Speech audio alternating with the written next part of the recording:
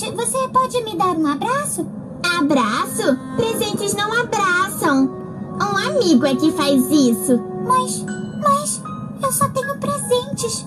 Eu não tenho amigos. eu queria ter amigos.